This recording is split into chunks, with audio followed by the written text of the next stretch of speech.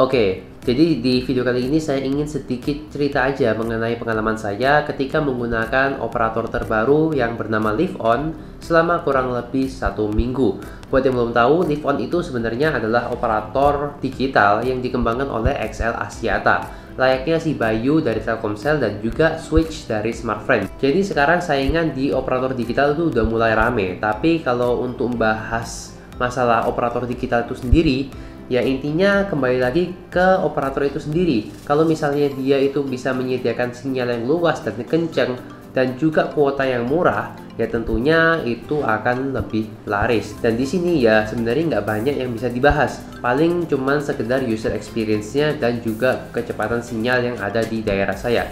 Tapi for your info, di daerah saya ini Surabaya Timur yang agak ke pojok Pakuan City itu ya, itu lumayan kenceng sih untuk sinyal XL-nya walaupun emang tidak bisa sekencang yang ada di pusat kota. Tapi ya udah masih bisa dipakai lah.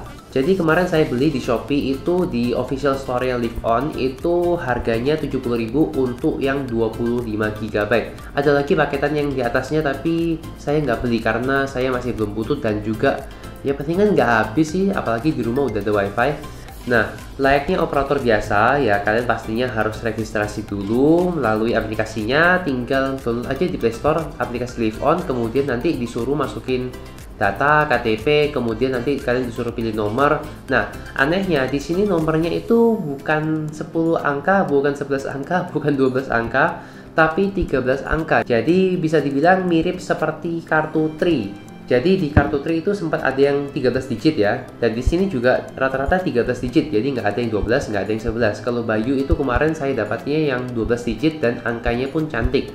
Di sini 13 digit, angkanya cantik ya, cuman 13 digit itu loh. Jadi apa ya? Tapi menurut saya sih 13 digit itu agak uh, gimana ya? Jadi apa ya? Karena Telkomsel saya juga nomornya 11 digit, kemudian Tri saya juga 11 digit, ya jadi nggak kebiasa aja gitu. Hafalnya juga nggak bisa segampang yang 11 ataupun yang 12 digit. Tapi ya nggak apa-apa.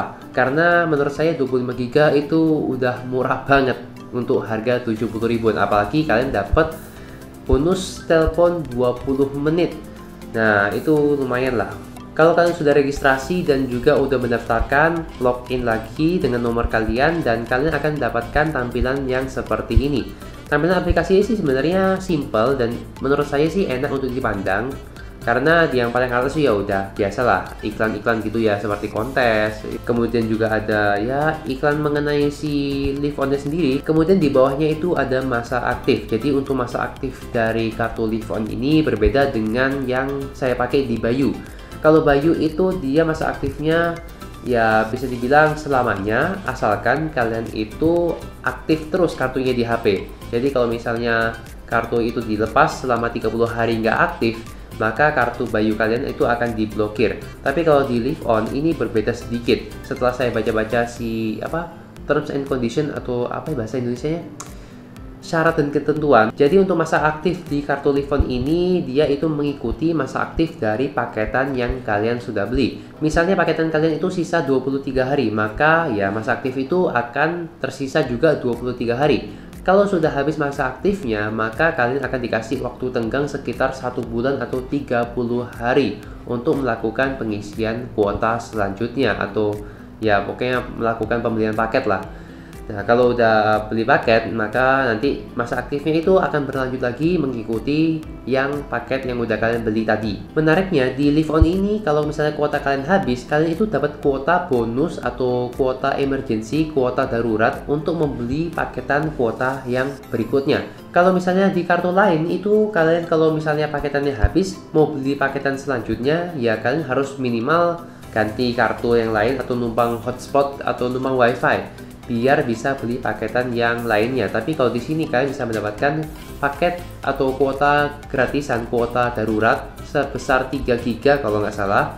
Itu bisa digunakan untuk membeli paketan selanjutnya kalau misalnya kalian mau perpanjang. Jadi nggak perlu khawatir lagi nyari-nyari wifi, numpang wifi atau numpang warkop atau pinjam hotspot teman untuk ya eh pinjem dong buat beli paketan. Itu itu udah gak ada lagi. Kemudian untuk macam-macam add-onnya atau paketannya itu menurut saya masih kurang banyak. Jadi di sini ada beberapa ya ada 2 giga, ada 5 giga, ada yang buat sosial media, ada yang buat telepon 30 menit, 60 menit, ada yang buat SMS, ada yang khusus buat streaming dan juga ya pokoknya macam-macam lah. Tapi di sini sayangnya uh, urutannya itu atau apa ya kategorinya itu tidak jelas. Jadi kalian harus klik dulu misalnya super sosial.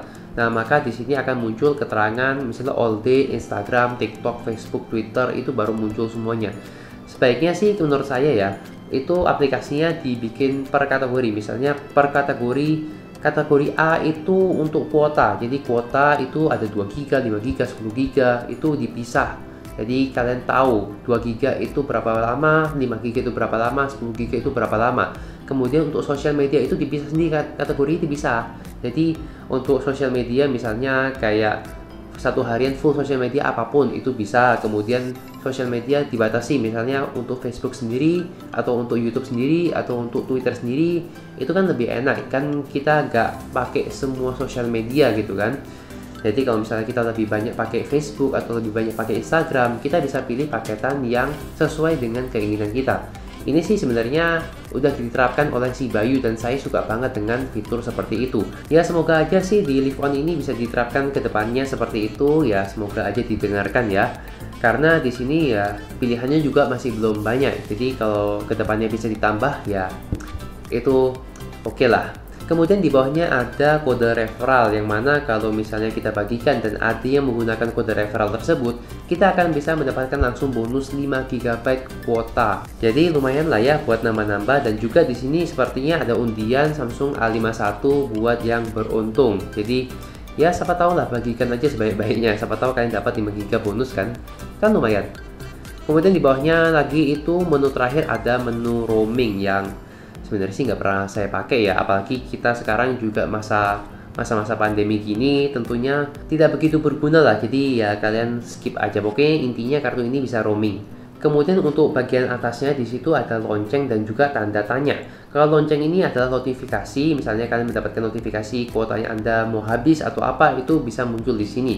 Kemudian di tanda tanya ini ini kita bisa ya mengetahui lebih lanjut soal si kartu live on ini. Jadi misalnya kita bisa tahu tentang live on tersebut, kemudian masalah-masalah yang sering terjadi, frequently asked questions.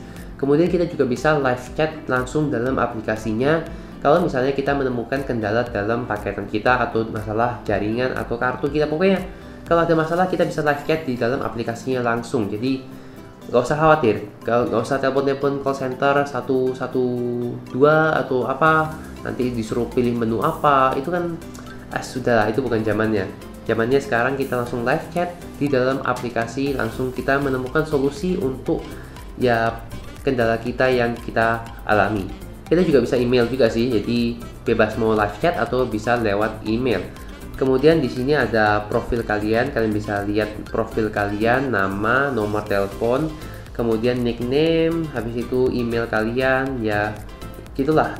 Nggak banyak juga opsi-opsinya, jadi ya kurang lebih begitu kan. Juga bisa masukin promo code-nya yang tadi misalnya ada teman kalian yang membagikan, kalian masukin sini.